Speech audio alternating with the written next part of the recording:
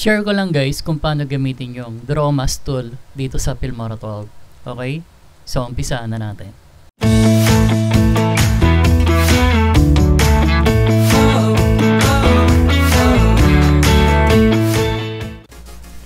Una guys, drag natin tong photo. Next, click natin to, yung workspace natin. Ngayon, double click natin siya. Next, click natin tong mask. Then, click natin tong draw mask. Yan yung gagamitin natin.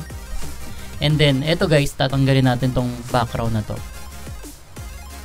So, click lang natin yan dito.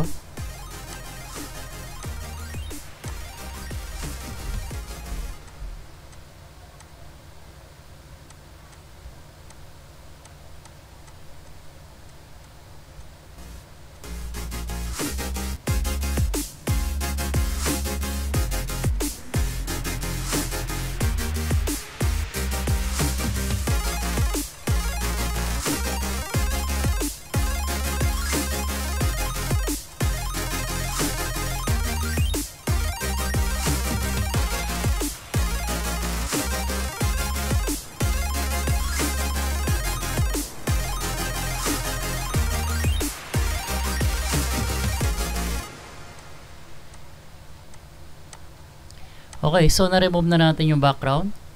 Next, gamitin natin to uh, opacity. Adjust lang natin ng konti. And then, ito yung settings ng blur. Adjust lang natin ng konti yan. And then dito sa extend, adjust lang natin ng konti. Ayan.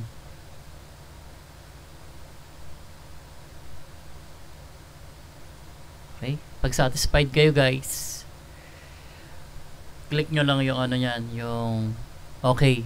Ito. Next, mag-add tayo ng background. Ito. Ito ilalagay ko. So, drag and drop lang siya, guys.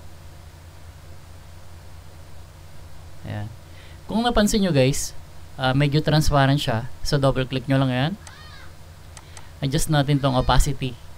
Ayan. Gawin natin 100. Next, pwede natin liitan itong photo na to.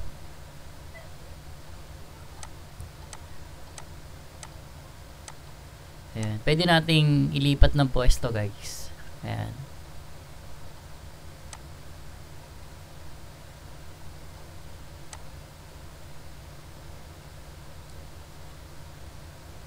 Okay, so ganun lang guys kung paano gamitin yung Dromas tool dito sa Filmora 12. Ngayon, kung meron kayong gustong itanong guys, comment lang kayo sa baba and thanks for watching.